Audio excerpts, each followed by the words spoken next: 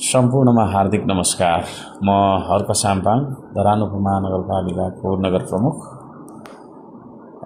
हिजो धरान उपमहानगरपालिकाले आफ्नो सीमा क्षेत्रमा सीमा प्रारम्भ बोर्ड राखेको र इटरी उपमहानगरपालिकाले चाहिँ नै हटाएको बारेमा चर्चा परिचर्चा भइरहेको देखेर मैले यहाँहरूलाई केही जानकारी गराउन आवश्यक ठाने मित्रहरू धरानको सिमाना कहाँसम्म हो भन्ने कुरा चाहिँ नि केन्द्रीय सरकारको नापी विभागले दिएको नक्सा अनुसार चाहिँ नि मैले निश्चित गर्न चाहिँ नि चाहिरहेको छु। र योभन्दा पहिला पनि त्यहाँनिर चाहिँ नि बोर्ड राख्दाखेरि युवा सङ्घ नेपाल भन्ने चाहिँ नि सङ्गठनका साथीहरूले राति आएर निकालेर लानुभएको थियो। र हिजो चाहिँ इटहरी उपमहानगरपालिकाको नगर प्रहरीहरू र त्यहाँनिर प्रमुख प्रशासकीय अधिकृत का टोली सबै त मैले त्यहाँनिर चिनिनँ। उहाँहरू चाहिँ नै आएर त्यो बोर्ड चाहिँ निकालेर पछार्दै पनि हुनुहुन्थ्यो। त्यो खालको अराजक गतिविधि नगरेको राम्रो हुन्थ्यो उहाँहरूले गर्नुभयो। त्यसलाई चाहिँ सम्पूर्ण जनसमुदायले मूल्याङ्कन यतिखेर गरिराख्नै भएको छ। कुनै पनि कुरा हामीले चाहिँ नै गर्दाखेरि सत्य र तथ्य होइन को आधारमा तथ्यको आधारमा हामीले चाहिँ नि अगाडि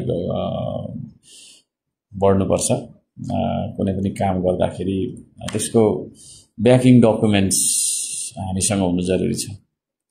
अब धरानको सिमाना सेउती पुलसम्म हो होइन? त्यहाँदेखि उता चाहिँ तर के अरे तपाईँको चाहिँ नि इटरी हो भनेर त्यो भन्नु त्यो चाहिँ नि गलत हो। त्यो पहिला खोजेनन् होइन? धरानको नेतृत्वले खोजेनन्। तर त्यसो भन्दै गर्दाखेरि मैले पनि खोज्नु हुँदैन अथवा मैले मैले पनि खोज्दिनँ भन्ने चिज होइन। म चाहिँ आफ्नो क्षेत्राधिकार कहाँसम्म हो भन्ने कुरा यकिन गर्न चाहने मान्छे हो। त्यसो भएको कारणले गर्दाखेरि नाफी विभागले दिएको सिमानामा हामीले चाहिँ नि पुरै प्राविधिकहरूको सल्लाह चाहिँ नि अनुसार चाहिँ राखेको हो त्यो बोर्ड। र त्यसलाई चाहिँ यो दोस्रोचोटि उहाँहरूले हटाइदिनु भएको छ। यो गलत छ। यो जिल्ला समन्वय समितिलाई पनि मैले चाहिँ पत्राचारै पनि गरेको छु। कार्यपालिकामा बैठकमा एजेन्डा बनाएर पारितै गरेर पनि हामी गएका छौँ। र त्यसो हुँदाखेरि पनि अब इटरी उपमहानगरपालिकाको नगर प्रमुख चाहिँ विभिन्न बहानामा भेट्न नमान्ने भन्ने कुरा चाहिँ अब जिल्ला समन्वय समितिबाट चाहिँ मलाई जानकारी प्राप्त भएको छ। भएको कारणले गर्दाखेरि उहाँहरूले चाहिँ यो विषयलाई लिगल्ली नै यसलाई एड्रेस गर्नुपर्छ भन्ने कुरामा उहाँहरूले साथ दिनुपर्छ र यो विषयलाई सहजीकरण गर्नुपर्छ। इटरी भए पनि धरान भए पनि हुन त नेपालकै भूभाग हो तर पनि धरान उपमहानगरपालिकाको कार्यक्षेत्र त्यसको क्षेत्राधिकार होइन भौगोलिक क्षेत्राधिकार कहाँसम्म हो त भन्ने कुरा यकिन गरि नै पर्छ। र गरि नै छाड्छौँ। र यसको लागि चाहिँ नि अब हामीले चाहिँ कानुनी उपचारहरू पनि अपनाउनु पर्ने देख्छु।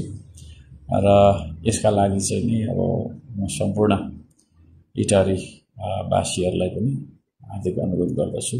यो हामीले अन्यथा गर्न चाहेको कुरा होइन तर जे जति हो त्यहाँसम्म सिमाना खोज्ने अधिकार तपाईँहरूको पनि छ र हाम्रो पनि रहन्छ।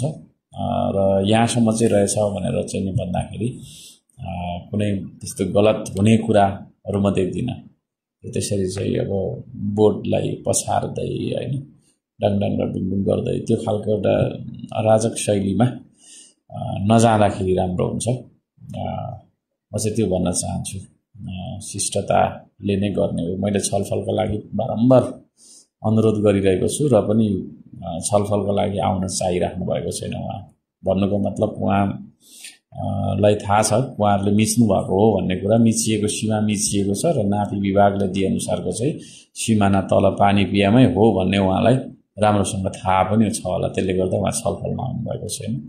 र त्यहाँनिर चाहिँ नि अब प्रहरी प्रशासन को पनि बोर्ड माथिसम्म राखिदिँदाखेरि पनि एउटा कन्फ्युजन भएको हो भन्ने मलाई लाग्छ।